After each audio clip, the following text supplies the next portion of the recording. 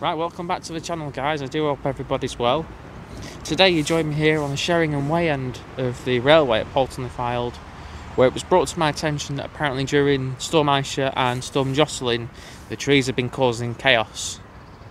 And if we just pan around here, here we go, a collapsed tree right next to 25,000 volts worth of cables.